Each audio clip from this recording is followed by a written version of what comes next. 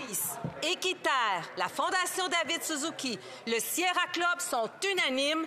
Le projet pétrolier Baie du Nord, c'est non. Pas compliqué? Non. Le rapport du GIEC d'hier conclut exactement la même chose. Je cite le secrétaire général Antonio Guterres qui dit les véritables dangereux radicaux, ce sont les pays qui augmentent la production de combustibles fossiles. Monsieur le Président, il décrit pourtant exactement ce que le ministre ferait avec Baie du Nord, augmenter la production de pétrole d'un milliard de barils. Est-ce que le ministre va dire non à Baie du Nord? Le ministre de l'Environnement.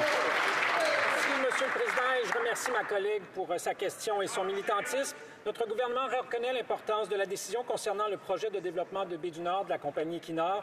Nous suivons un, un, processus prévu par la loi qui est fondé sur les meilleures preuves scientifiques disponibles. C'est pourquoi nous avons prolongé l'échéancier prévu dans cette loi afin de prendre le temps de bien examiner la quantité considérable de renseignements complexes et prendre une décision éclairée. Merci, Monsieur le Président.